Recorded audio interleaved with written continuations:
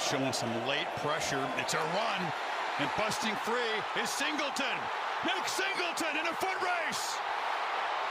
One that he will win. Touchdown, Penn State. 87 yards.